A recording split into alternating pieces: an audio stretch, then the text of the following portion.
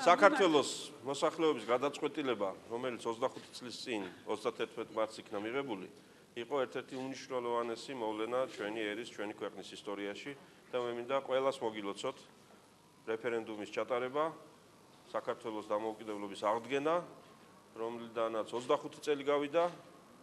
ვიცით რომ ჩვენ დამოუკიდებლობის აღდგენის აქტი დაეფუძნა ჩვენს ისტორიულ წარსულს 1918 წელს გამოცხადებულ დამოუკიდებლობას, მანამდე არსებულ სახელმწიფოებრიობას და მე მგონი ყველა ქართველი ამ დღეს უნდა ვიყოთ ერთად, ერთმუშტად შეკრული, ისე როგორც ეს იყო 25 წლის წინ, როდესაც სრულიად ერმა მიიღო ეს ძალიან მნიშვნელოვანი გადაწყვეტილება. დღეს ჩვენ პარლამენტში აღნიშნეთ ეს ღონისძიება, გაიხსნა გამოფენა, რომელიც 9 აპრილამდე გაგრძელდება და ყავდა ყველაზე უფრო საინტერესო საპატიო სტუმრები სკოლის მოსწავლეები, მათ შეავსეს ჩვენი პარლამენტის დარბაზი დღეს.